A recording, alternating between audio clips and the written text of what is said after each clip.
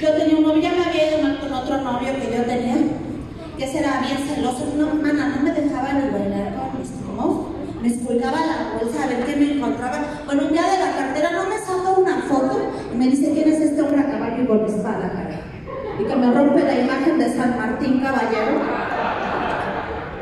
Ese pensaba que con su dinero nos podía mangonear a mi familia y a mí. Y no, fíjense, porque pues uno tiene su dignidad de uno, ¿no? Y al principio así se quiso portar bien Bueno, no nos invitó hasta Acapulco, todo apagado, a mi familia y a mí. Eh, bueno, fuimos mi mamá, mi, tío, tía Lupita, mi tío Felipe, mis dos primas, mis cinco primos y yo.